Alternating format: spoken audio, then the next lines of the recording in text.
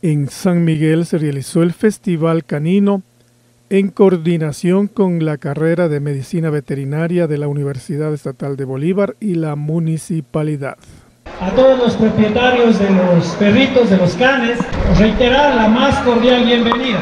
Para quienes hacemos Universidad Estatal de Bolívar, la Facultad de Ciencias Agropecuarias, Recursos Naturales y del Ambiente, y específicamente la carrera de Medicina Veterinaria de nuestra universidad. Como lo teníamos planificado anteriormente, meses atrás con el señor alcalde y algunas este, instituciones y amigos, participar en este evento que antes de la pandemia nosotros lo hacíamos aquí en San Miguel. Entonces hay una historia muy bonita, una historia muy interesante y puedo reconocer la interesa del cantón San Miguel con los creadores, con los aficionados a, la mascota como es el perro. El perro que, desempeña un rol muy importante dentro de la sociedad.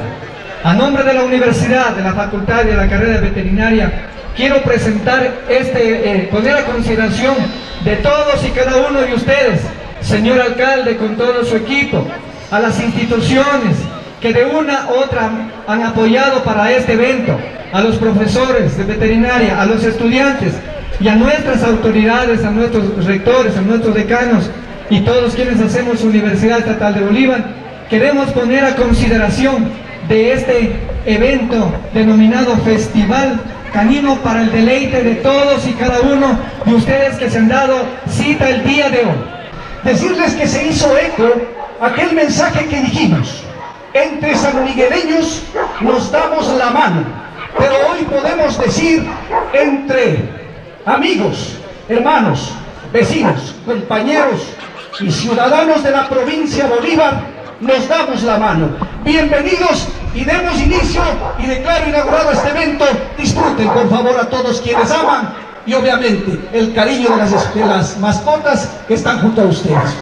También se realizó la desparasitación de mascotas. Esta eventualidad que se está organizando por parte de, la Universidad de Bolívar es muy eh, eficiente y esencial para que la ciudadanía eh, se pueda justamente desenvolver y ayudarse en las situaciones como, como dominar y el estramiento canino. Exige una gran eh, responsabilidad del manejo de mascotas. Sí, exactamente.